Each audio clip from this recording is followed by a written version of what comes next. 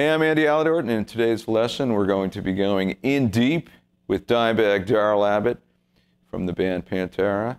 The late, great Dimebag Darrell, certainly one of the greatest metal guitar players, one of the greatest guitar players that ever lived. And in this in deep lesson, we're also going to be covering how to play a song that's transcribed in this issue, A New Level. And one of the first things with Dime is the tuning that he would use. Uh, his normal tuning was down a half step, but then raised on the chromatic tuner an additional 40 cents. So another way to think of that is instead of being tuned down a half step, you're tuned down a quarter step. It's in between. Just as Darrell's normal tuning was a quarter tone flat, when he tuned down a whole step, that was a quarter tone flat as well. It gets a little confusing, but a good way to do that uh, is to tune down a whole step and then tune down an additional 40 to 50 cents on your tuner, which is how I have the guitar tuned now. You could think of it two different ways. You could also think of it as being tuned down a step and a half and then being 40 cents higher than that. So in essence, it's in between being tuned down a whole step and being tuned down a step and a half.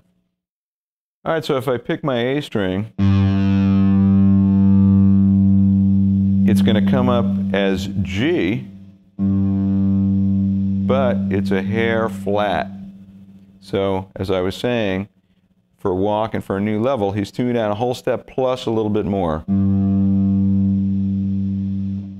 So when the string settles, moving around a little bit, it's somewhere around 40 cents below. Here's the D. Same thing, you can see it as about 40 to 50 cents lower, so it's right in between. All right, so to make it as easy as possible, I'm going to give you the pitches, and you can tune your guitar up to this guitar, and this will be in tune with the recording.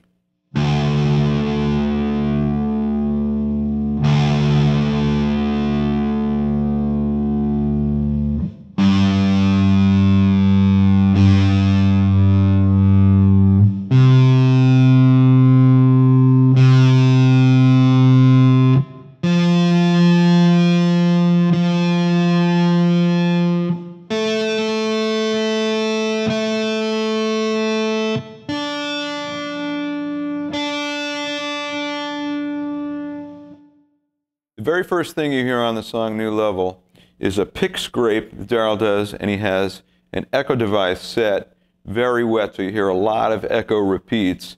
Uh, it's a relatively slow in between. It's not like a fast slapback. Um, it's a little bit slower than that, uh, and then there are multiple repeats, and that sounds like this.